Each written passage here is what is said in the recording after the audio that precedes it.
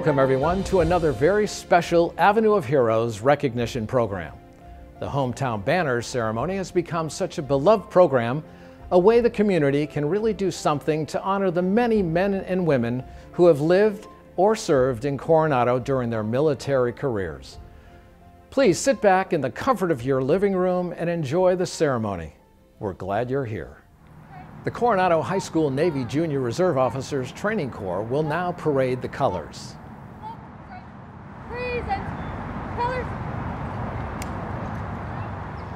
Coronado School of the Arts alumni Kathleen Duga will now sing the national anthem. Oh, say, can you see by the dawn's early light what so proudly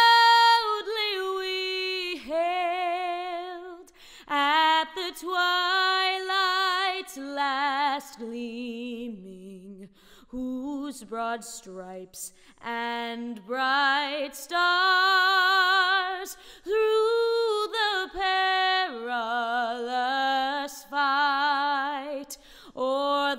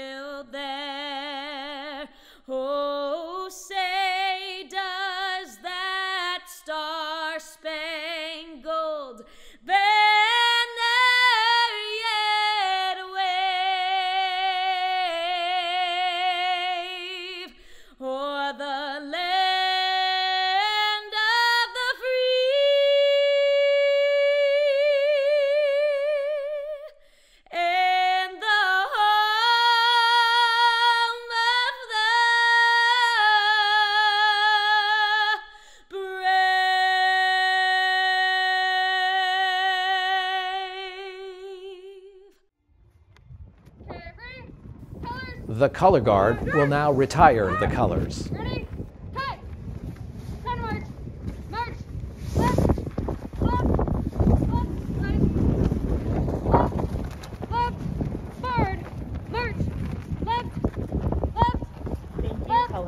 The Hometown Banner Program is a military service recognition program sponsored by the City of Coronado.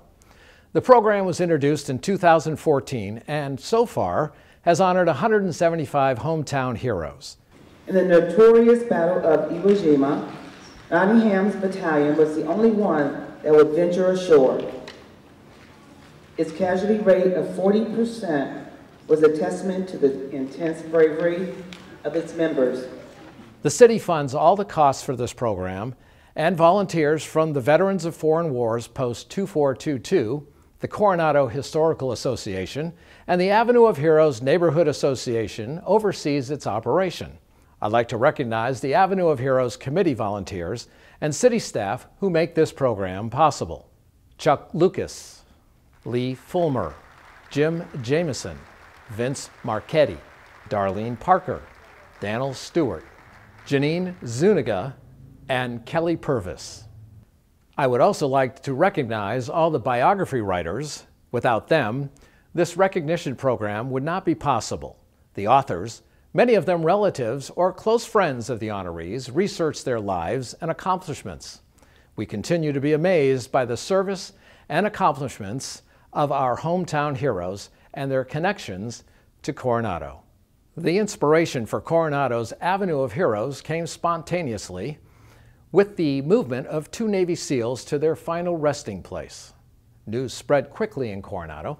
The local Rotary Club passed out American flags, schools were dismissed, and teachers brought students to line 4th Street to honor the fallen service members. As the procession approached the San Diego Coronado Bridge, a lone Navy SEAL stood for hours at attention, saluting as he waited for the passage of his comrades. And that moment, it was clear 3rd and 4th Streets were already an avenue of heroes. From that spontaneous beginning, the program was launched in May 2015 with 18 banners. Ceremonies are held twice yearly, and to date, heroes have been recognized from the Air Force, Army, Navy, and Marine Corps.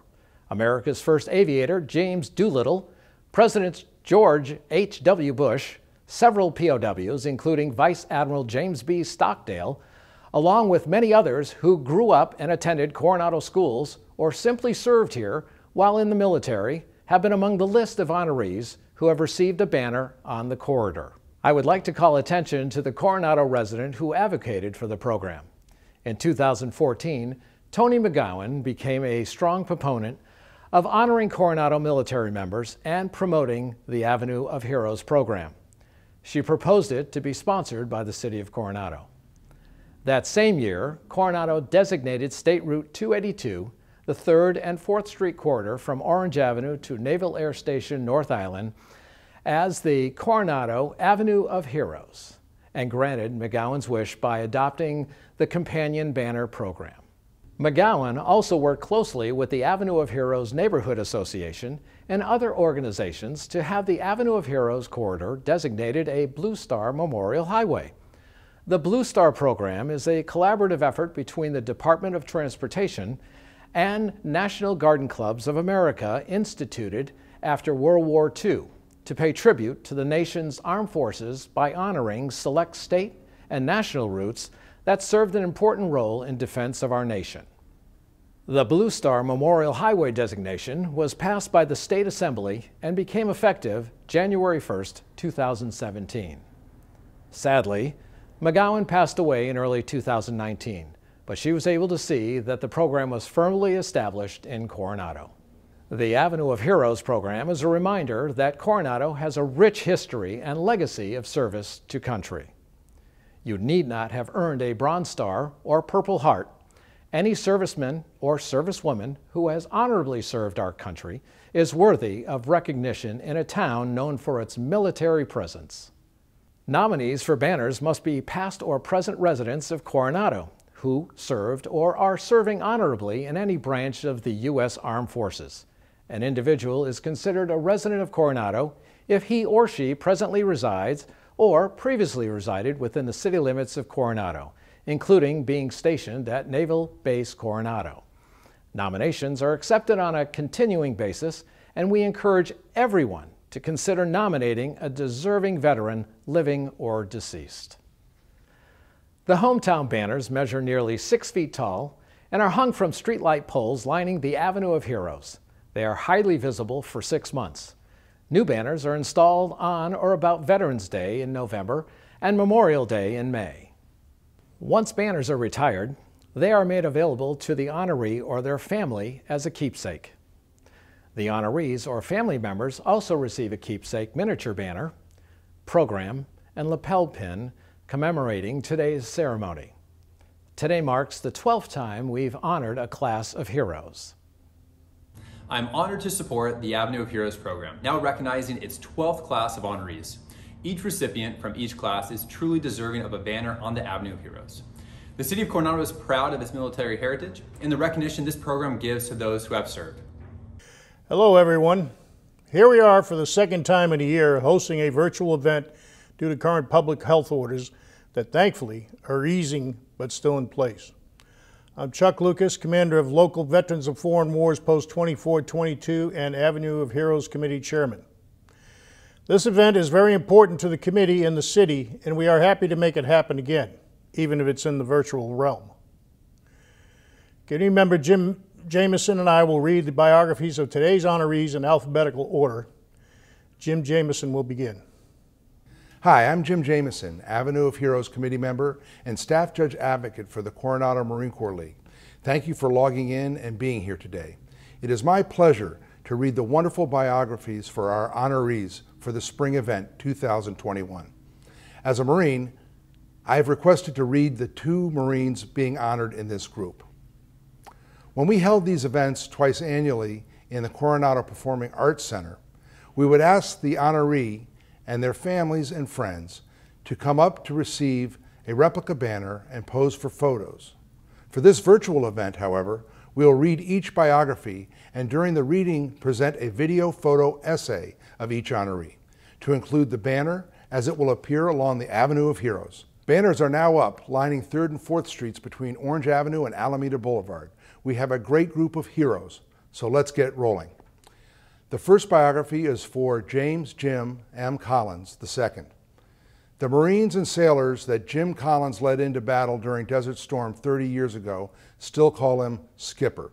20 years prior to that, the Marines he served with on the ground in Southeast Asia called him Sergeant.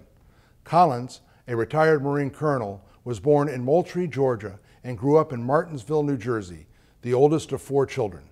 After attending college in Louisiana, he enlisted in the Marine Corps, finishing top of his class at the Marine Corps Recruit Depot, San Diego.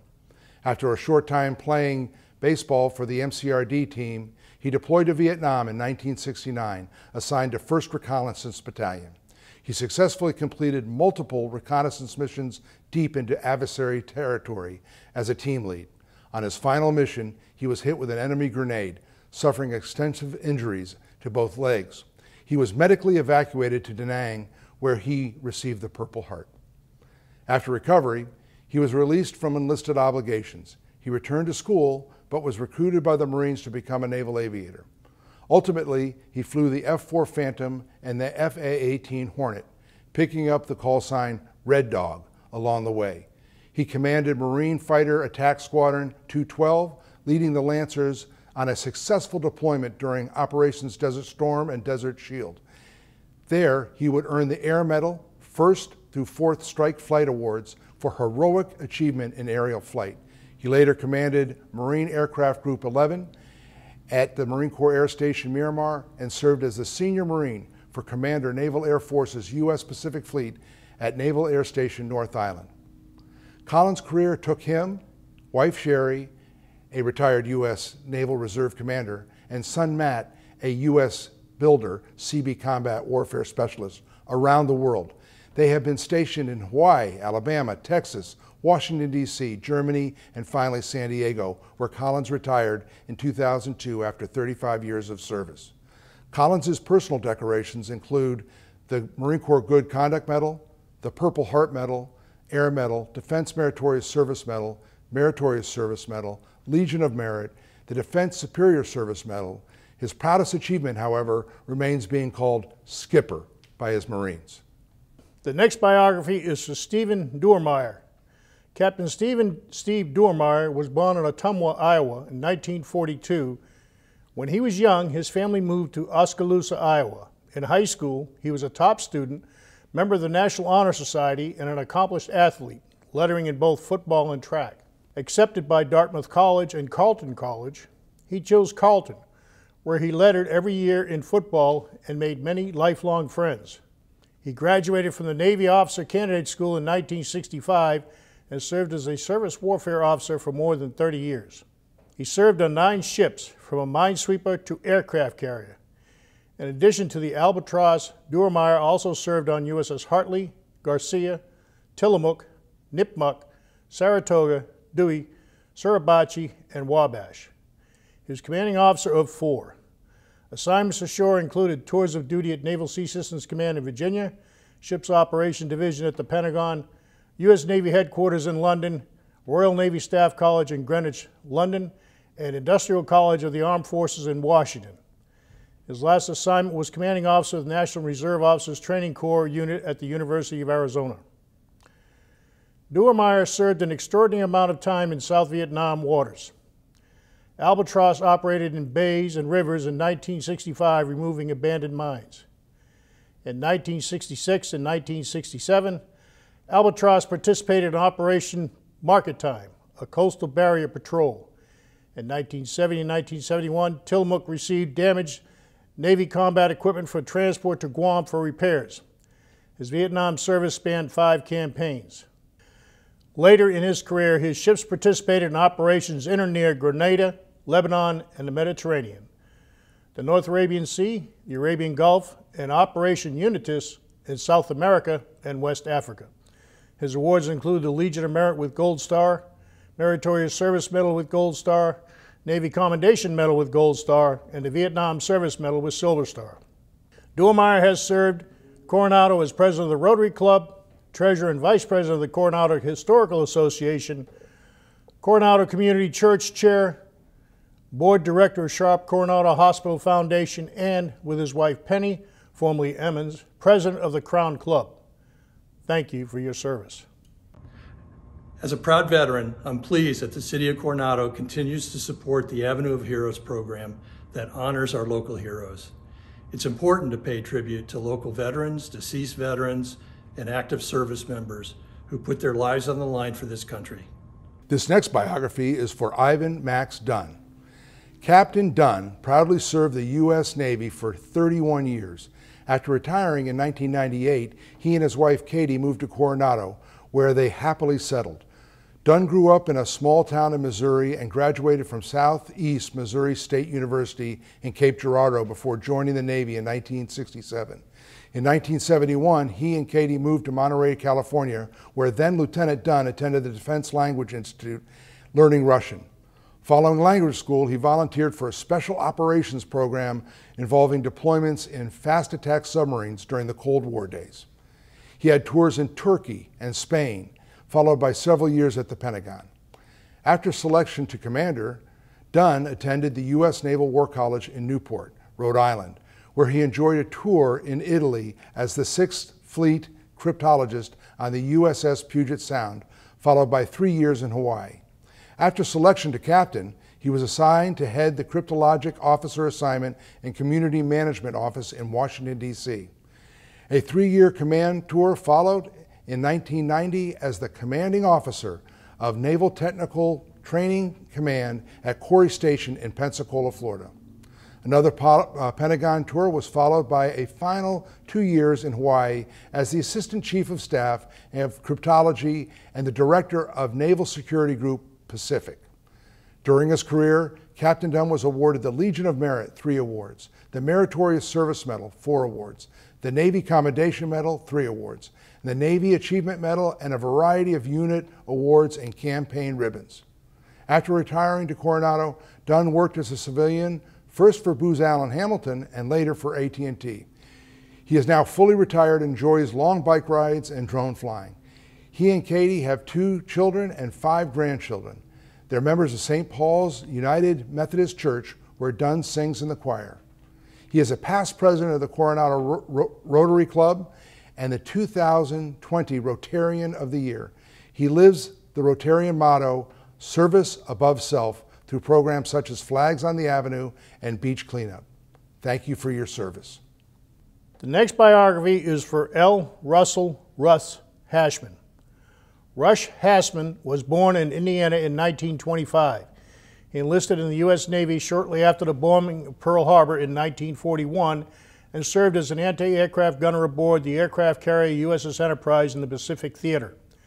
Hashman's first encounter with the enemy was the Battle of Midway, the pivotal naval engagement early in the war. USS Enterprise participated in many major actions of the war against Japan and became the most decorated ship in World War II. Hashman shared in the award of a Presidential Unit Citation, a letter of commendation from the Secretary of the Navy, and the ship's seven battle stars. He left the Navy in 1945. Hashman graduated from Indiana University and attended graduate school at George Washington University in Washington, D.C.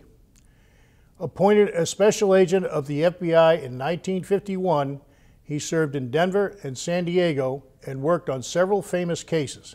Simultaneously, he served as a pilot and commander of the Colorado wing of the Civil Air Patrol.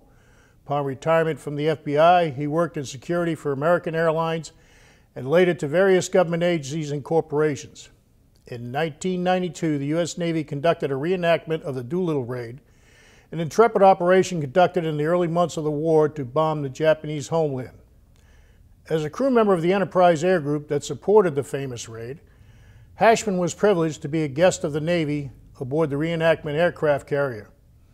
Hashman and Lieutenant Colonel James H. Doolittle, U.S. Army Air Forces, were good friends, and a pre-enactment flyby tribute by Doolittle's home was doubly meaningful.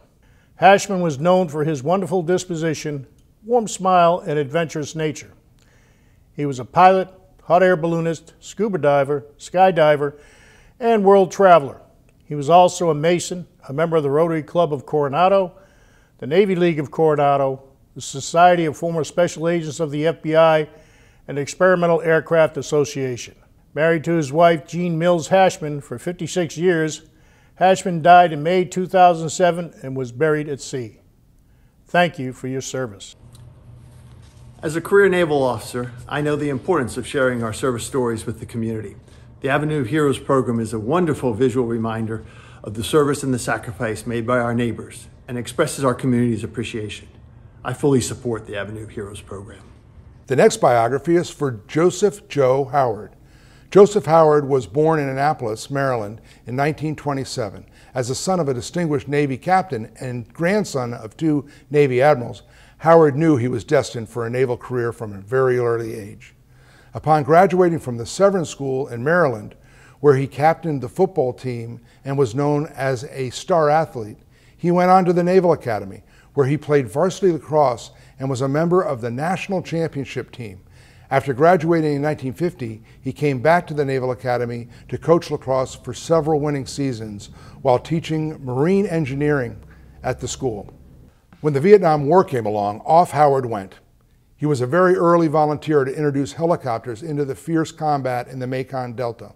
He commanded the first group of helicopters, HAL 3, providing aerial gunfire to the Special Forces boats. The Navy liked to work by the book, but there was no book then. Howard commanded the squadron of then cast off Army helicopters, developing the tactics of operations and engagement for the Seawolf gunships used throughout the war.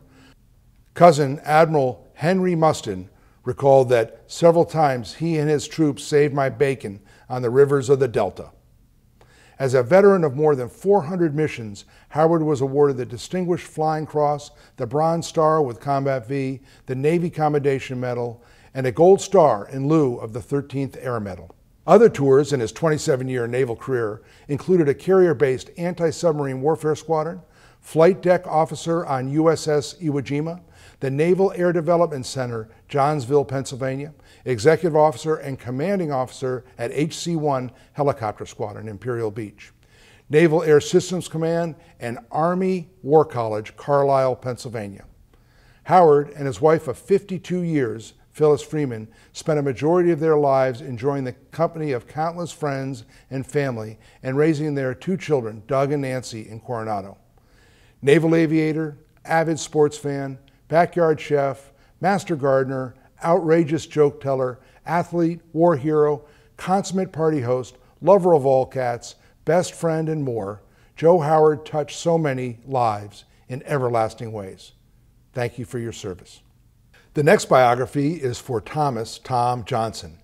Captain Tom Frederick Johnson was commissioned in the U.S. Navy Chaplain Corps Reserves in 1963 and entered active duty in 1965. He had planned on staying only one period, but somehow 30 years passed by. Johnson went from a green first tour chaplain to the U.S. Navy's Gray Shepherd a year before retirement while stationed at the Naval Air Station North Island. The title of Gray Shepherd rests upon the chaplain, no higher than captain in rank, serving for the longest continuous time on active duty. As he received the Gray Shepherd's Award, he was asked to recall one of his most memorable experiences as chaplain. Johnson vividly recalled one night shortly after reporting for duty. He was eating dinner in the wardroom of the USS Ranger when over the PA heard his presence was required on the flight deck by the carrier's executive officer immediately. He arrived to find the XO, other officers, and several masters at arms with a young sailor who had just returned from yet another unauthorized absence. He broke loose from the masters at arms, climbed the mast to the large crosspiece, and threatened to jump if not immediately released from active duty. He wouldn't let the masters at arms get close to him. It was a cold night, but he had refused a jacket. Johnson climbed the mast, taking a master's at arms jacket with him. The man was so upset he wouldn't wear it, but he would put on Johnson's jacket. Standing beside him, Johnson looked down at the pier and noticed that the large warehouses on the pier looked like small monopoly pieces. The sailor finally allowed Johnson to get close to him, and as Johnson reached out, The young man grabbed him and sobbed on his shoulder. Johnson said for a moment he thought they were both going to fall. The man agreed to calm down if he were allowed to be discharged as quickly as possible. Releasing from someone from active duty was not easy due to the draft. The process was complicated with requests and approvals, but somehow he was discharged the very next day. Johnson felt his chaplain's credentials were firmly established via scuttlebutt throughout the 3,000 man crew. Thank you for your service. My father served in the Navy, and I grew up in this community and understand the importance of how integral the military is to the fabric of our city. The program and banners along the Avenue of Heroes serve as a daily reminder of the men and women who've served this country. Thank you for your service. The next biography is for Eric S. Christensen. Lieutenant Commander Eric S. Christensen was born in March 1972 in Portsmouth, Virginia, and grew up a Navy junior. He was a proud graduate of Gonzaga College High School in Washington, D.C., where he was a scholar, a football player, a lacrosse player, and a trumpet player in the band. He then attended one year of prep school at Phillips Academy before attending the U.S. Naval Academy, where he earned his varsity letter in heavyweight crew before graduating with honors in 1995. He served on USS Chandler in San Diego, where he earned his surface warfare designation. After a tour with the SEALs as an officer in charge of a special boat unit in Coronado, he returned to the Naval Academy in 1999 to teach and begin graduate studies at St. John's College in Annapolis, Maryland. By this time, Christensen knew he wanted to be a Navy SEAL. Overcoming injury and the Navy's concern about his age, he became a SEAL in 2001. He was assigned to SEAL Team 10 in Little Creek, Virginia. On June 28, 2005, while deployed to Afghanistan in support of Operation Enduring Freedom, four members of the SEAL unit Christensen was leading were conducting search operations on Sawtalo Sar Mountain in Kunar Province. The four were ambushed and pinned down under heavy fire by the Taliban. As Task Unit Ground Commander, Christensen led a rescue effort. Lieutenant Commander Christensen was killed when the Chinook helicopter transporting him Seven other SEALs and eight U.S. Army Night Stalkers were shot down with loss of all on board. Three of the four SEALs on the ground died of their wounds. To honor the 11 SEALs who gave their lives, a bronze memorial plaque, stone monument, and golden medallion tree were erected near the entrance to Special Warfare Command Headquarters, Naval Amphibious Base, Coronado, and dedicated before the public on June 28, 2006, exactly one year after the casualty. He was 33 years old. He is survived by his parents, Rear Admiral and Mrs. Edward K. Christensen of Washington, D.C. His remains are interred at the U.S. Naval Academy. Thank you for your service. The next biography is for E. E. Ted Mouton. Captain Ted Mouton was born to Edward Monty Mouton and Clara Yearling Mouton on June 28, 1922, in Reno, Nevada. Mouton was born with aviation in his blood, as his father Monty Mouton was a World War I aviator and flight instructor, and post-military was one of the first U.S. airmail pilots. Mouton graduated from the U.S. Naval Academy in 1945 and was immediately sent to the South Pacific in command of a minesweeper, clearing Japanese mines from shipping lanes. Upon receiving his wings after World War II, Mouton was deployed to the Korean War on two tours as a F-4U Corsair fighter bomber pilot aboard USS Boxer, USS Valley Forge, and USS Philippine Sea. Mouton was stationed at Naval Air Station North Island in 1960, and during this tour of duty was twice deployed to Vietnam for air operations on USS Bonhomme Richard, USS Hornet, and USS Bennington as commander of the air group. During his career, Mouton flew the SNJ aircraft, the TBM torpedo bomber, the 84 and 85 dive bombers, the F-8F fighter, the F-4U fighter, the JRB, the T-28 Trojan, the F-3D Skyknight, the Tiger Cat, the Tracer, the Tracker aircraft, and also became Sikorsky SH-3 helicopter qualified. Commendations awarded included the Legions of Merit, Air Medals with Gold Star, Navy unit commendations, World War II, China, Korea, and Vietnam service medals, and the Presidential Unit Citation. Upon his retirement in 1969, Mouton worked on both the SA-3 anti-submarine jet version of the S-2, which Mouton flew in Vietnam, and the then top secret F 117 Nighthawk at Lockheed Burbank. Mouton married Adeline Lynn Mundy on February 3, 1946, and they had four children Leslie, Michael, Kent, and Bradley. Service stations that the Mouton family lived at during his naval career included Dahlgren, Virginia, Norfolk, Virginia, Oceana Air, Point, Air Station, Point Mugu, Newport, Rhode Island, Coronado, and the Pentagon. The Moutons moved to Coronado once again to live out their lives. Lynn subsequently passed away from an illness, and Ted then met and married Barbara Mouton. Captain Mouton passed away in 2007. Thank you for your service. The next biography is for Vincent Patrick O'Rourke. Navy Captain Vincent Patrick O'Rourke was born on May 19, 1922, in New York City and grew up in nearby Queens. At 17, he was selected from thousands of applicants to receive a National Aeronautical Engineering Scholarship. He enrolled at Brooklyn Polytechnic Institute, which launched his lifelong pursuit of aviation excellence. At 20, O'Rourke enlisted in the Navy and was commissioned in October 1943. He served as a Hellcat fighter pilot with Fighter Squadron 74 aboard USS Kasaan Bay in the Mediterranean Theater. Transferred to the Pacific, he served with the Fast Carrier Task Force, where he flew with Torpedo Squadron 47 on USS Bataan, flying a TBM 3 Avenger until the Japanese surrender. During the war, he was awarded medals for valor, including two Navy Cross medals and a Bronze Star. As a lieutenant junior grade, he was awarded his first Navy Cross for his attack on the Japanese fleet at Kobe Bay in 1945. He bombed a large aircraft carrier under heavy anti-aircraft fire and smoke screening. His second was for his role in the sinking of the Japanese cruiser Tone during the 1945 attack on Kure Harbor. He flew 200 plus combat hours on 33 strike missions aboard Bataan in five months. He was awarded the Distinguished Flying Cross, five Air Medals, and the Meritorious Service Medal. During a 30 year career, he was second commanding officer of VF 96 Fighting Falcons, commanding officer of Fighter Squadron VF 142, and executive officer of VF 142. During the Vietnam War, he commanded USS Tripoli and USS Rainier and was air boss and executive officer of USS Oriskany. He flew everything from all weather aircraft to helicopter missions from 19 carriers. His final tours were Commander Fleet Air Alameda, and Chief of Staff, 12th Naval District.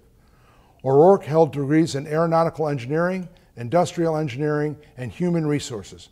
He graduated from the Naval Test Pilot School and the Armed Forces Staff College. He was married to Harriet Juliet Sokol for 63 years until her passing in, in 2007. They had three children, James, Brian, and Alice Ann Skelton. Upon retirement, they returned to Coronado and never left. Thank you for your service. I too am proud of my father's service here in Coronado as a Navy SEAL. I was on the City Council when the program was first launched, and I've watched it develop over the years. I'd like to encourage community members to nominate a family member, friend, or neighbor for this honor to help the city continue this important program into the future. Thank you. The next biography is for Jack R. Sloan. Affectionately known as Jake, Colonel Jack R. Sloan, United States Marine Corps, was born and raised in Los Angeles, moved to San Francisco, and graduated from Lowell High School in 1938, where he was student body president and lettered in football and track. Sloan entered the University of Southern California, Berkeley, but left college early to enlisted in flight training in World War II as a member of the Marine Corps. While on active duty, he earned a business administration degree from the University of Maryland. Sloan was accepting, accepted into Naval Aviation Training, where he earned his coveted Wings of Gold in 1943 following carrier qualification on USS Wolverine IX 64, a training aircraft carrier on Lake Michigan. Later that year, following commission as a second lieutenant in the United States Marine Corps Reserves, he was ordered into combat in the South Pacific with Marine Torpedo Bombing Squadron 233, flying the TBM Avenger out of Turtle Bay, Espiritu Santo, and the Espiritu Santo Islands. He flew combat missions over Munda and Bougainville in the Solomon Islands from October 1943 to May 1944. Following a brief release from active duty in 1945, Sloan reestablished his career in the Marine Corps in 1947. He was ordered into combat in Korea with Marine Fighting Squadron, Fighter Squadron 311, flying the F-9F-2 Panther in August 1951. In 1961, he served as commanding officer of Marine Fighter Attack Squadron 232, flying the FJ Fury, out of Marine Corps Air Station at Kaneohe Bay, Hawaii. In April 1965 and July 1970, Sloan served in Vietnam as Chief of Staff, 1st Marine Air Wing. Sloan was awarded two Distinguished Flying Cross Medals, the Bronze Star Medal with Combat V, and seven Air Medals, along with many other citations and campaign awards. Sponsored by the Optimist Club of Coronado, Sloan was an active member for more than 40 years and served in numerous capacities as club president, district lieutenant governor, and district governor. He and his wife Ann and family lived in Coronado for 49 years. He was active in various business ventures and community affairs before his death in, 19, in 2013 at the age of 93. Thank you for your service. The next biography is for Mary N. Stanley. Mary Ann Zimmerman was born the youngest of five on June 26, 1922. While growing up in St. Louis, she attended St. Elizabeth Academy where she earned a bachelor's degree in nursing. She entered the Navy in 1944, serving at Balboa Hospital until the end of World War II. She was recalled to active duty in 1951 and stationed at Naval Air Station Corpus Christi in Texas. There she met a young Navy pilot who became the love of her life. She and Lieutenant Henry Hank T. Stanley Jr. were married at the Navy Chapel in Norfolk, Virginia. In 1952, Stanley resigned her commission after eight years. Their first child, Henry T. Stanley III, was born the following year. The next duty station brought them to Naval Air Station North Island, where her husband would be assigned to USS Kearsarge. While there, child number two arrived, William, in 1955. Their next orders took them to Guam, where child number three, Barbara, was born in 1959. In 1963, the family reported to Naval Air Station Alameda in California, where Hank Stanley was assigned aboard USS Midway. In the early part of 1965, he was tragically killed in a jet crash. Facing the daunting task of raising three children by herself, Stanley decided to move the family to Coronado to be close to her mother in law, Janet Stanley. In Coronado, Stanley was active among Sacred Heart parishioners, the Altar Society, and the Coronado Senior Center. In 1983, Stanley suffered a near fatal ruptured cerebral aneurysm. Through extensive surgeries and rehabilitation, she was able to live a good life. Eventually, the injury took its toll and she required more in home care. On May 14, 2010, the Lord accepted her into his kingdom. She is predeceased by siblings Elmer, Werner, Vincent, Paul, and her husband, Commander Henry T. Stanley Jr. She is survived by her loving children, Barbara, her two sons and their spouses, William J. and Megan, and Commander Henry T. and Anna, and four grandchildren, Ryland, Reese, Henry T. IV, and Mia. Thank you for your service. The next biography is for George William Watson. U.S. Navy Commander George William Watson was born in Medford, Massachusetts in 1920. He worked diligently at Tilton Prep School to acquire the necessary skills for admission to the Naval Academy. He was the first alternate at the Naval Academy and hence signed up for the Coast Guard Academy. Watson was literally in line at the Coast Guard Academy in early fall 1940 when he received a phone call from his mother letting him know he had just been admitted to the Naval Academy. He was officially sworn in at the Naval Academy the next day, achieving academic honors and becoming a star third baseman on the varsity baseball team. Due to World War II, the class of 1944 graduated one year early. Watson was asked to stay to help train incoming plebes. One perk was that he would be able to choose his next duty assignment. He chose the destroyer USS Frazier and set sail for the South Pacific. After deployment, he requested flight training and began flight school in Pensacola, Florida, and furthered his studies at Ottumwa, Iowa. In 1945, he received his gold wings and achieved his desire of becoming a naval aviator. Watson was assigned to fly PB-4Y2s in a patrol squadron in the Bering Sea from 1946 to 1949, looking for Russian submarines and aircraft. He was an instructor at the Naval Academy in seamanship and tactics. In 1955, he was sent to Stanford University, where he earned a master's degree in personnel administration and was assigned to the Comfair Elm staff in Naples, Italy. In 1959, he attended Armed Forces Staff College in Norfolk, Virginia, and became an executive officer at Naval Training Command in Bainbridge, Maryland. In 1960, it was there that he met and married his wife of 53 years, Lieutenant Jean Watson. His last assignment was commanding officer of the Personnel Research and Training Activity in Point Loma, California. He retired in 1969 and continued his work in personnel administration with the San Diego Probation Department until 1985. During his service, he received several medals and awards, including the American Defense, American Campaign, Asiatic Pacific Campaign, World War II, and National Defense Medals. Thank you for your service. The next biography is for Jean Louise Watson. Longtime Coronado resident, retired U.S. Navy Lieutenant Jean Louise Watson was born in Lansdowne, Pennsylvania in 1927.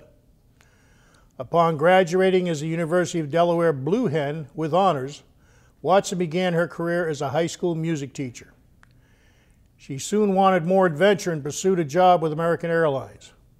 She enjoyed the travel and decided to take it to a new level and became a Navy Wave, woman accepted for volunteer emergency service. On April 24, 1952, in Philadelphia, Pennsylvania, Watson enlisted in the Navy and was commissioned as an ensign wave. She loved Navy life. Her first assignment was in Newport, Rhode Island at the Naval Line School, where she was trained in the security of classified matters. She then received orders for San Diego, where she was the education officer at the Naval Training Center. Her primary role was administering service exams. She had two very close fellow Wave friends during that time, and together they formed a camaraderie that endured the challenges of being woman in the service and all that, is entailed, that it entailed. In 1958, Watson received orders for Bainbridge, Maryland, and there she helped train Wave recruits during the height of the Korean War. Well, at the Officers Club one evening, she met fellow naval officer George Watson. They married in March 1960, and she was subsequently required by Navy regulations to resign from the Navy, as she could not be in the Navy and have children. Watson then served the Coronado community in meaningful ways. She was a Sunday school teacher at Graham Memorial Presbyterian Church for years and manager and volunteer of the Graham Memorial Church Thrift Cottage for decades. She is a member of the Philanthropic Educational Organization, Women's Club, Crown Garden Club, and was a president and active member of the San Diego Symphony Women's Committee. Watson reminisces with pride about her career in the Navy as well as her life in Coronado. She's a true patriot and wonderful representative of this special city. During her service, she received the National Defense Service Medal. Thank you for your service. Our final biography is for Horace Red West. Retired U.S. Navy Captain Horace Red West was born in Annapolis, Maryland on June 20, 1917, to Commander and Mrs. Marcus West. He had one sibling, Grace West Hoffman. West, who went by the nickname Red, entered the U.S. Naval Academy with the class of 1941 before transferring to and graduating from the University of Arizona with a degree in aeronautical engineering. Subsequently commissioned an ensign in the United States Navy, the service sent West to the Massachusetts Institute of Technology in Boston, where he earned an advanced degree in aeronautical engineering. Following this, he earned the Naval Aviator's coveted Wings of Gold and flew propeller aircraft throughout his 28 year career. West duty stations included Atsugi, Japan, where he was in charge of the overhaul of naval aircraft of the Sixth Fleet, Litchfield Park in Arizona, now Luke Air Force Base, multiple sea assignments, several tours on the Navy staff in Washington, D.C., and on ComNav Airpac staff in Coronado, where he led aircraft maintenance efforts. West decorations included the Legion of Merit and Meritorious Service Medals. He and his bride, Margaret Hooker, had two children, Anna and Timothy, and later became the proud grandparents of three grandchildren, Dustin, Joshua, and Dylan. Upon retirement from the Navy, West worked for a year at Rohr in San Diego prior to serving as chairman of Security Pacific National Bank in Coronado, a position he held for 10 years. Active in the Rotary Club of Coronado, he was selected as the 1981 Rotarian of the Year. In addition to serving on the board of the Air and Space Museum in Balboa Park, he was an avid golfer and world traveler. Passing away shortly after the turn of the century, Captain Red West was buried in Fort Rosecrans National Cemetery on March 8, 2001. Thank you for your service. The City of Coronado thanks all the honorees, their family and friends, the Hometown Banner Committee members, and all who helped put this virtual ceremony together. As we approach Memorial Day, we are honored to tell the stories of these local heroes and to show our appreciation for all they do or have done for our country.